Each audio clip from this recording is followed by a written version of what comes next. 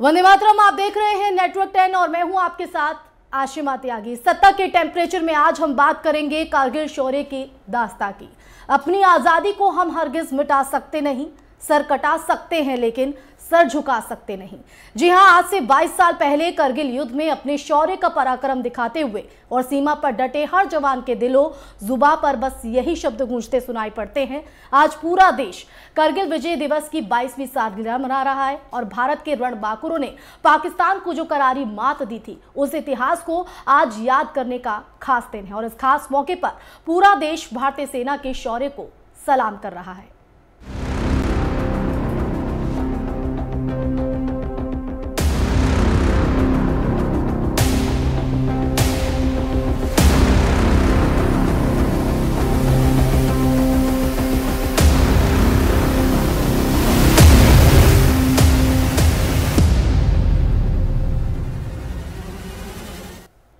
तो देश की आन बान और शान कहे जाने वाले हमारे भारतीय सैनिकों के लिए आज, यानी 26 जुलाई का दिन, बेहद ही खास माना जाता है।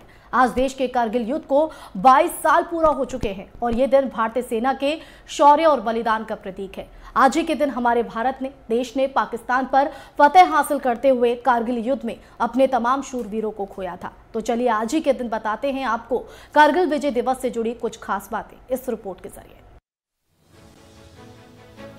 26 जुलाई, ये वो दिन है जब करगिल में हिंदुस्तान और पाकिस्तान की सेना आमने सामने थी और देश का गौरव कहे जाने वाले हमारे जवानों ने दुश्मनों को युद्ध में धूल चटाई थी। इस दौरान देश के तमाम जवानों ने अपने प्राणों का भी बलिदान दे दिया था। दुश्मन पर विजय की दास्ता आज भी हर हिंदुस्तानी की ज़ुबान पर है। देश का गौरव कहे जाने वाले हमारे भारतीय सैनिकों ने आज ही के दिन पाकिस्तानी सेना को अपनी बहादुरी से कारगिल में हुई लड़ाई के दौरान कड़ी शिकस्त दी थी।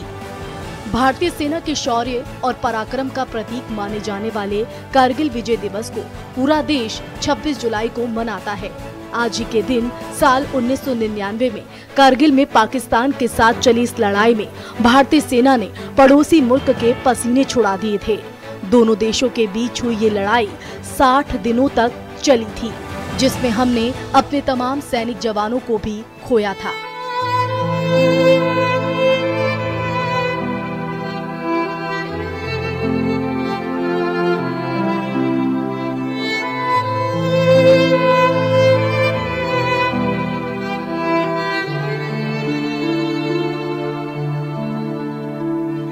कहा जाता है कि आज का ये दिन कारगिल विजय दिवस भारत की जीत और उन तमाम सैनिकों के सम्मान में मनाया जाता है, जिन्होंने अपनी जान की परवाह किए बिना देश के ऊपर अपने प्राण न्यौछावर कर दिए। 22 साल पहले ही आज ही के दिन भारतीय सेना ने कारगिल युद्ध में पाकिस्तान को करारी शिकस्त दी थी। 26 जुलाई साल 1999 को भारतीय जाबाजों ने पाकिस्तानी सैनिकों को खदेड़ते हुए कारगिल की पहाड़ियों पर तिरंगा लहराया था।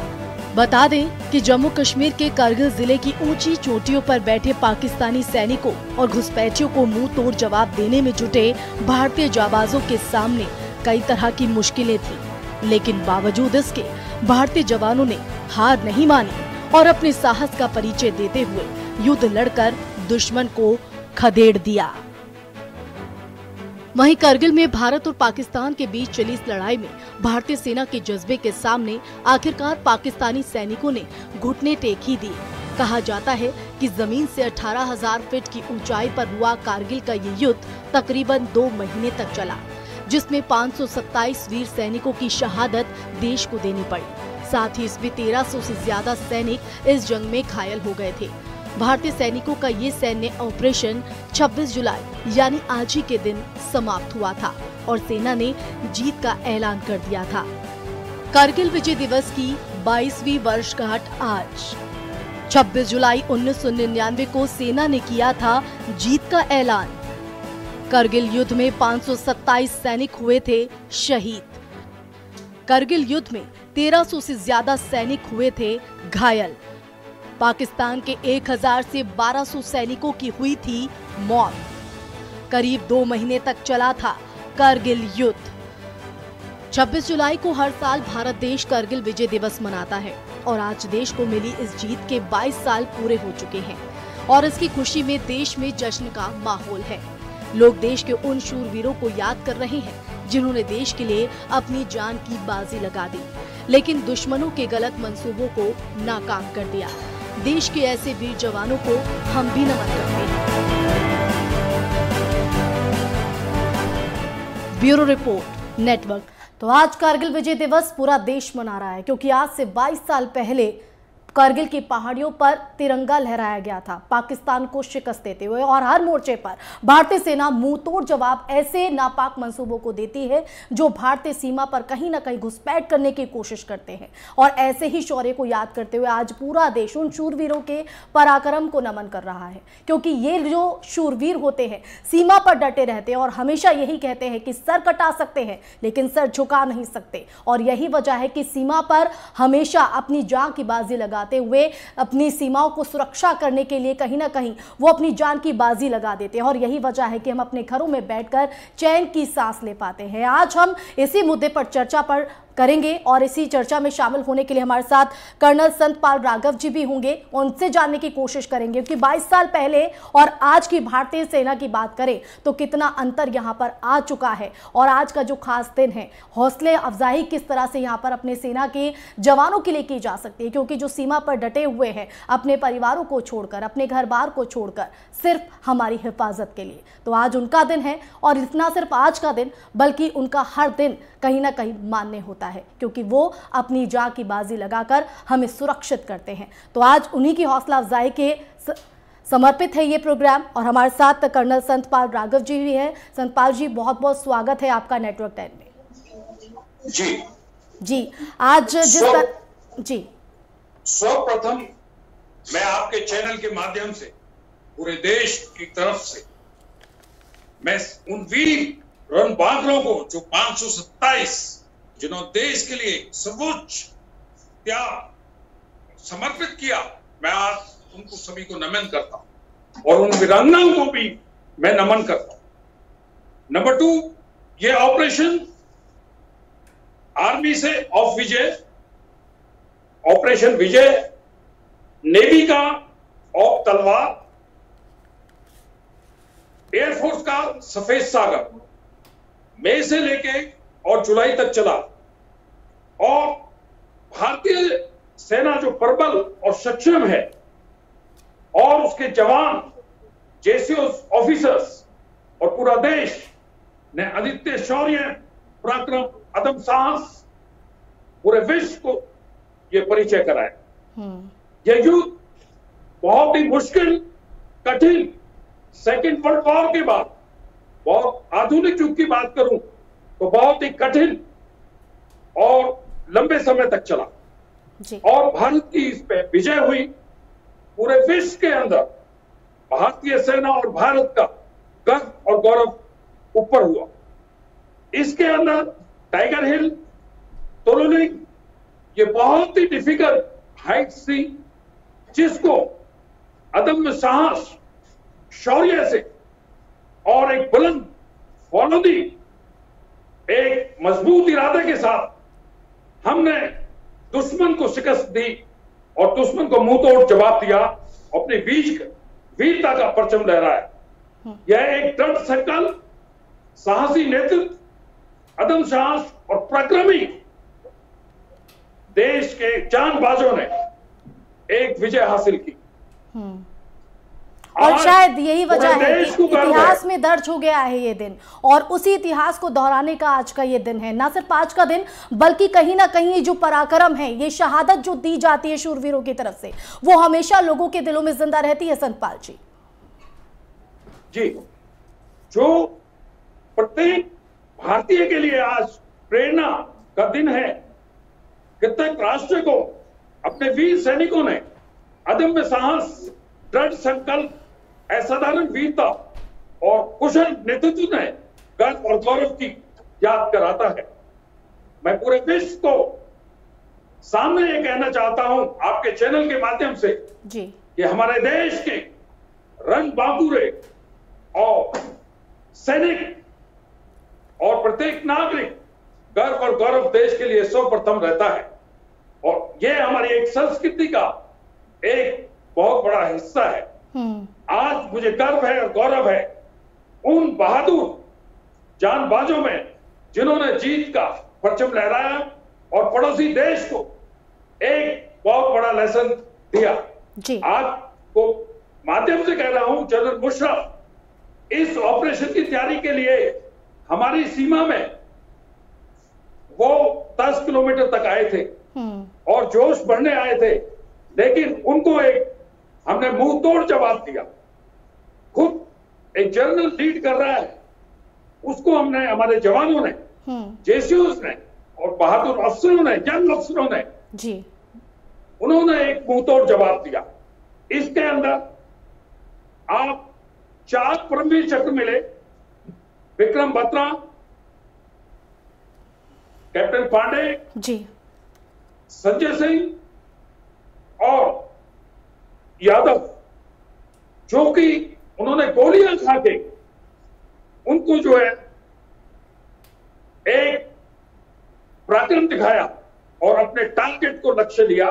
मुझे यह एक अपने आप में एक बहुत बड़ी और बिल्कुल न सिर्फ़ यह आज का दिन फतेह हासिल करने के लिए याद किया जाता है बल्कि उन लोगों को उन शूरवीरों को भी याद किया जाता है जिन्हों जिनको हमने इस युद्ध में खोया था। क्योंकि एक जवान का जाना ही इतनी बड़ी डैमेज हो जाता है इतना बड़ा कहीं ना कहीं क्षति हो जाती है कि उसको भर पाना शायद ही मुश्किल हो। जी।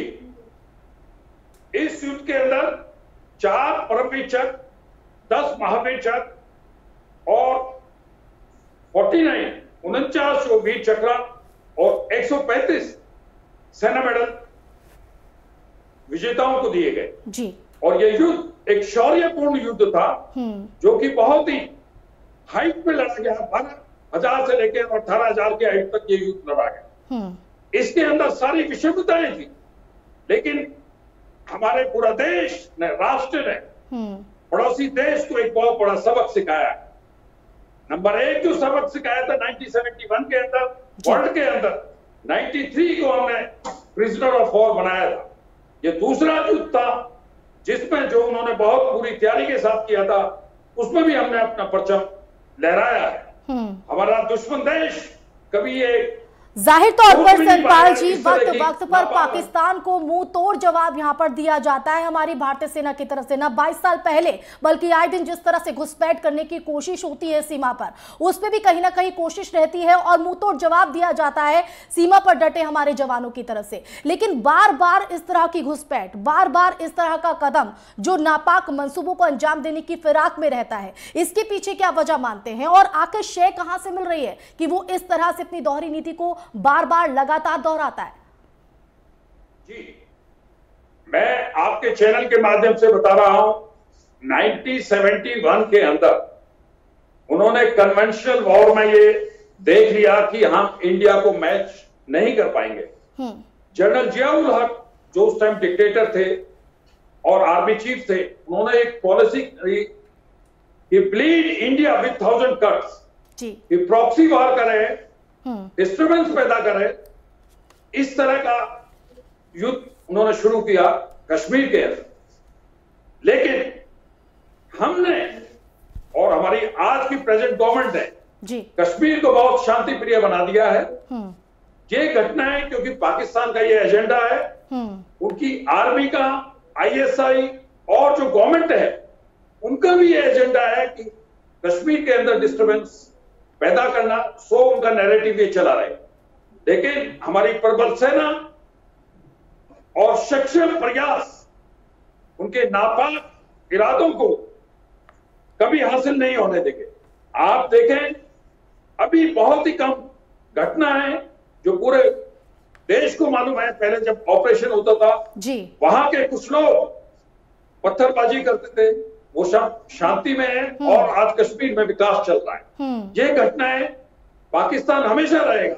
पाकिस्तान की आर्मी आईएसआई और गवर्नमेंट और शायद ही शायद ही संतपाल जी यही वजह है कि ये जो शांति है ये जो सामान्य तौर पर ज़िंदगी जी रहे हैं वहाँ के लोग हजम नहीं कर पा रहा है पाकिस्तान। और यही वजह है कि दो दिन पहले अगर हम जाए पीछे तो इमरान खान की तरफ़ से बयान दिया जाता है कि ये वहाँ के लोग डिसाइड करेंगे कि कश्मीर पाकिस्तान का हिस्सा रहेगा या अलग राष्ट्र होगा। ये नया राग जो अलापा जा रहा है इसको लेकर क्या कहेंगे कि क्या ये वही चीज़ है जो हम देख पा रहे हैं जम्मू कश्मीर में कि शांति के साथ जो लोग हैं अपने जीवन को व्यतीत कर रहे हैं। जो पत्थरबाजी होती थी जो आवाज़ को रेस किया जाता था वो नहीं दिखाई देती वो तस्वीरें नहीं दिखती हैं। यही वो चीज़ है इमरान खान की इन बयानों के ज़रिए। जी आज पूरे कश्मीर में विकास है। जी। शांति है। हम्म। आप यूएन के वहाँ ऑब्जर्वर है। कोई ह्यूमन राइट वायोलेशन नहीं है। कश्मीर विकास की रास्ते पे अग्रसर है। प्रगति है। जी। ये पाकिस्तान को हजम नहीं हो रहा है। हम्म। वो फिर भी ड्रोन अटैक सीज फायर भी बॉर्डर पे उन्होंने एलओसी पे कम कर दिया है। लेकिन अभी एक नई विधि निकाली है ड्रोन के द्वारा ये हरकतें करने के और जो उनके आतंकी संगठन हैं उनको भी वो ये ट्रेन कर रहे हैं। लेकिन इसका भी हम मुँह तोड़ जवाब दे रहे हैं। वो अपने नापाक इरादों को हम मैं कभी सफल नहीं हो पाएँगे। हम्म। और आज पूरा देश गर्व और गौरव की गाथा पर गर्व मना रहा। हम्म। जी। आज कश्मीर में शांति है। जी। बिल्कुल, लेकिन संतपाल जी, जिस तरह से देखा जाए, एक तरफ़ शांतिपूर्ण तरीके से कूटनीतिक रास्ते के ज़रिए कहीं ना कहीं इस पूरे मसले को सुलझाने की कोशिश होती है पाकिस्तान की तरफ़ से। लेकिन दूसरी तरफ़ अगर देखा जाए तो आए दिन जिस तरह से घुसपैठ होती है, नापाक मंसूबों को अंजाम देने की कोशिश में रहता है ये पाकिस्तान। ऐसे में ये कथनी और करनी में फ़र्क नज़र क्यों आता है पाकिस्तान की तरफ़ से? और भारतीय सेना की तरफ़ से मुँह तोड़ जवाब दिया जाता है, लेकिन अगर उन्हें खुला छोड़ दिया जाए, उनको आज़ादी दे दी जाए कि उनके खिलाफ कोई ऐसा सख्त एक्शन लिया जाए। तो कहीं ना कहीं और भी बड़ा कदम उठाया जा सकता है पाकिस्तान के खिलाफ क्योंकि दोहरी नीति से तो हर कोई वाकिफ है चाहे वो सरकार हो चाहे हम हो या आम नागरिक। जी आपके माध्यम से मैं बताना चाहता हूँ आज हमारा जो पीओके पाकिस्तान ऑक्युपाइड कश्मीर है जी। ये हमारे देश के और गवर्नमेंट का और सभी देशवासियों को उसके ऊपर एक उम्मीद है। और मैं आपके आज कहना चाहता हूँ कि हमारी सेना प्रबल और सक्षम है इसको लेने के लिए। अगर गवर्नमेंट का वो मिलता है आर्मी को तो हम पीओ को भी ले पाएँगे। और इमरान साहब को बहुत ही ये डर है अंदर से। उनकी आर्मी को भी डर है। उन्होंने हमारी सक्षमता देखी हुई है जी। कि ऑपरेशन विजय जो इसके लिए आज हम्म। आपने चैनल पे बुलाया है इसके ज़रिए से हमने उनको मैसेज दिया होगा हम अट्ठारह हज़ार की आई बारह हज़ार से अठारह हज़ार की आईटो में जो ऑपरेशन किया है सक्सेसफुल ऑपरेशन किया है हम्म। बहुत शॉर्ट नोटिस पे और हमने सफलता हासिल की है जी तो ये जो पीओ के है हमारी कैपेबिलिटीज के अंदर है हम्म। हमारी सेना सक्षम है इसको लाने के लिए ये पाकिस्तान के गवर्नमेंट इमरान खान साहब को अंदर से बहुत बड़ा डर है। और उनकी गवर्नमेंट को उनकी आईएसआई और आर्मी चीफ को भी डर है हम्म। कि ये पीओ को भी ऑक्यूपाई करेंगे। ये एजेंडा ऑलरेडी हमारे देश के अंदर है और गवर्नमेंट के अंदर जी। जी। संतपाल जी मैं आऊँगी हमारे साथ खास मेहमान group captain doctor PN Jha ji भी जुड़ गए हैं। पीएन वीएन जी आपका बहुत बहुत स्वागत है नेटवर्क टेन में। धन्यवाद। जी वीएन जी कारगिल विजय दिवस का आज खास मौका है। इतिहास को दोहराने का इतिहास को याद करने का ये दिन उन शीर शूरवीरों को याद करने का उनकी शहादत को याद करने का ये पराक्रम दिवस कहीं ना कहीं तौर पर पूरा देश पूरा राष्ट्र उनको नमन कर रहा है। इस खास मौके पर आप क्या कहना चाहेंगे और पूरे विश्व को क्या मैसेज देना चाहेंगे?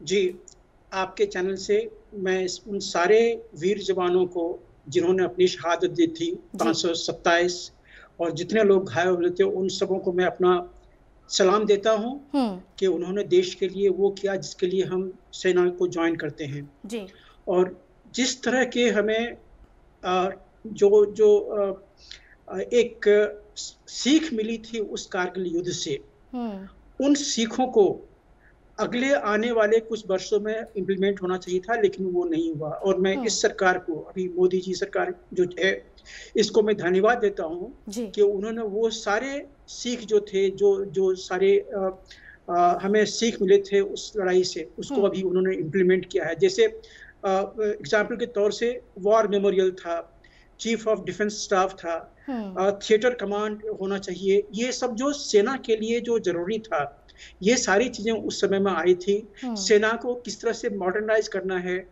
तीनों आर्म्स जो हैं उनको किस तरह से मिलके एक युद्ध को लड़ना है क्योंकि आपको पता होगा कि जब शुरू शुरू कारगिल युद्ध शुरू हुआ था हम्म। उन दिनों में जो सामंजस्य होना चाहिए कि सेना लड़ाई कर रही है एयरफोर्स का उसमें रोल क्या होगा? और बाकी जो पैरामिलिट्री है उनका वहाँ पे क्या रोल होगा? तो थोड़ी सी कन्फ्यूज़न थी तो इसीलिए जो जो सजेशन uh, आई थी जो रिकमेंडेशन आई थी कारगिल युद्ध से उन सबों को अभी इम्प्लीमेंट uh, किया जा रहा है और किया गया है। हम्म। इसके लिए मैं बहुत बहुत बधाई देता हूँ देश को कि ये और ये इसलिए भी ज़रूरी हो जाता है वीएनजी की कहीं ना कहीं जो सेना के जवान हैं जो अपने घर परिवार को पीछे छोड़कर सिर्फ़ देश हित में अपने योगदान अपनी भागीदारी को निभाते हैं उनकी हौसला अफजाई भी इसके लिए कहीं ना कहीं ज़रूरी हो जाती है इन तमाम माध्यमों के ज़रिए। बिल्कुल सही कहा आपने। देखिए जो जवान वहाँ पे है उसकी तो जो मोराल है काफ़ी है। जी।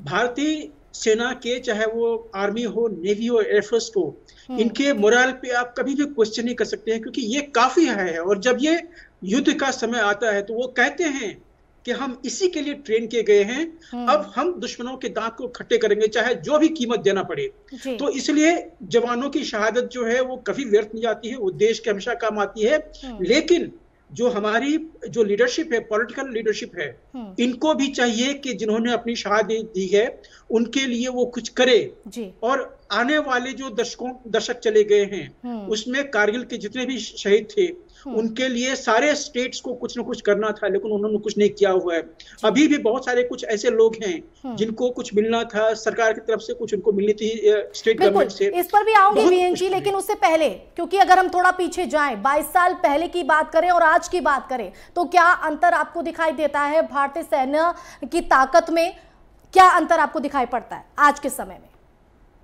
कितना बदला क्योंकि अभी पिछले सात आठ साल में जी इतने सारे वेपन्स आर्म फोर्सेस के पास में आए हैं कि हम किसी से भी अभी लोहा ले सकते हैं जी एक वो कारगिल का समय था हम्म। जब हमें छोटे से कारगिल पर जो हाइट्स थी वहाँ की उन हाइट्स पर अटैक करने के लिए हमें सोचना पड़ रहा था क्योंकि हमारे पास में आर्म्स एम्यूनिशन उस तरह के एयरक्राफ्ट होने चाहिए वो जिस हम्म। तरह के सामंजस्य होना चाहिए वो नहीं था लेकिन हम्म। आज आज हम चीन को सामने में लेने के लिए तैयार हैं चीन पाकिस्तान दोनों साथ साथ आ जाएगा हाँ। उनके लिए हम अभी तैयार हैं तो इसलिए जितनी इंफ्रास्ट्रक्चर की डेवलपमेंट हुई पिछले सात आठ साल में ये ये अविस्मरणीय है इसको आप कभी बुला नहीं सकते हैं हाँ। खास करके पहले हम चीन के लिए बोलते थे कि हम चीन को भी वो टू फ्रंट वॉर में शामिल अगर होगा तो किस तरह से डील करेंगे हाँ। लेकिन आज सेना के पास में वो सारी चीज़ें आ गई हैं जिससे हम चीन को उन्हीं के सीमा पे दांत खट्टे कर सकते हैं। और इसका एक एग्ज़ाम्पल आपको यहाँ पे और यही वजह है कि वक्त वक्त पर सीमा से पीछे हटा दिया जाता है घुसपैठ करने की कोशिश होती है।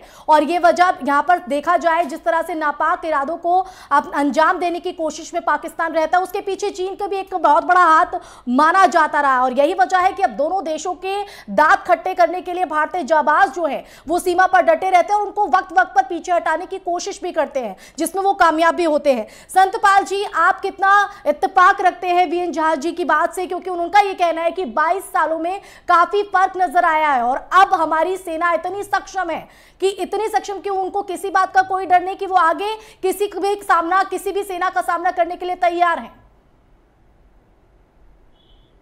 आफ्टर कारगिल वॉर जी। सुब्रमण्य कमेटी बनाई गई थी। और रिकमेंडेशन दी थी उन्होंने। जी। हमारी सेना में arms and equipment modernisation air force का नेवी का काफ़ी चेंजेस आया है। एज प्रोफ़ाइल भी कमांडिंग ऑफिसर की कम है बिकॉज़ माउंटेन हम्म। में यंग ऑफिसर चाहिए। हम्म। तो काफ़ी वॉर फ्रंट वॉर इक्विपमेंट और लीडरशिप में भी काफ़ी चेंजेस आए हैं। जी। और आधुनिकरण भी काफ़ी हुआ है। ज्वाइंटनेस हम्म। भी काफ़ी हुई है। तो काफ़ी सक्षम हो चुके हैं। बिल्कुल क्योंकि समय की कमी है। मैं माफ़ी चाहूँगी बीच में आपको रोक रही हूँ लेकिन हम चाहेंगे कि इस खास मौके पर उन शूरवीरों को और साथ ही पूरे विश्व को आप क्या मैसेज देना चाहते हैं इस खास दिन पर? संत जी।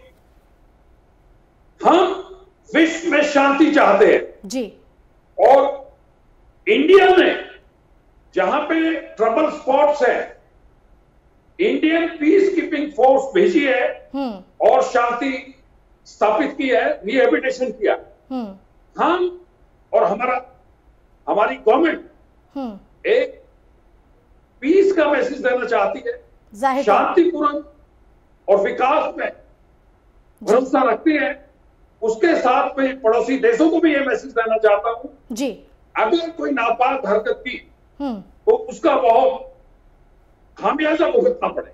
हम्म। बिल्कुल। आपने गलवन में देखा जो पिछले दिनों में भारत की सेना ने उनको बिल्कुल। क्या जवाब दिया? बिल्कुल वीएन जी अब आखिरी में मैं आपके पास आना चाहूँगी और आपसे भी एक मैसेज लेना चाहेंगे छोटा सा लेकिन साथ ही जिस तरह से आपने कहा कि सेना जो है वो बेहतरी की ओर बढ़ी है आज सक्षम है हर तरीके से। आपकी नज़र में और क्या लगता है कि बेहतर विकल्प हो सकते हैं सेना की हौसला अफजाई को लेकर? देखिए मुझे कोई शक नहीं है कि आने वाले महीनों में और सालों में सेना के लिए वो सब कुछ होने वाला है जिसके लिए वो कह रहे थे। देखिए हम लोग काफ़ी अरसे से हम्म। कह रहे हैं कि सेना को मॉडर्नाइज करो। देखिए चीन के साथ में पाकिस्तान के पास में जो साथ साथ में जो जो पहाड़ी हिस्से हैं हम्म। उन पे लड़ने के जो क्षमता होनी चाहिए वो एक माउंटेन स्ट्राइक फोर्स में होती है और उसके लिए आर्म फोर्सेस दशकों से कह रही थी वो मोदी सरकार ने अभी दिया हुआ है। हम्म। तो एक माउंटेन स्ट्राइक फोर्स ऑलरेडी हो चुका है।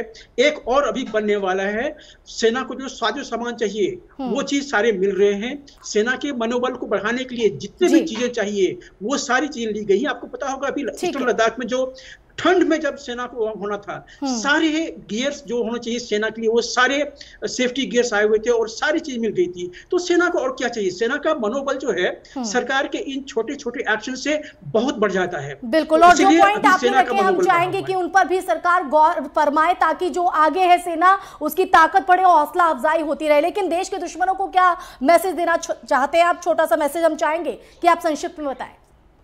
देखिए देश के सेना को हमारा सलाम। जी। देश जो है वो सेना के पीछे में है वो अपनी शिद्दत जो है वहाँ पे वो लगे रहे शिद्दत से हम्म। और इससे आगे कुछ नहीं चाहिए। सरकार जो है सरकार को सेना को सपोर्ट करना चाहिए।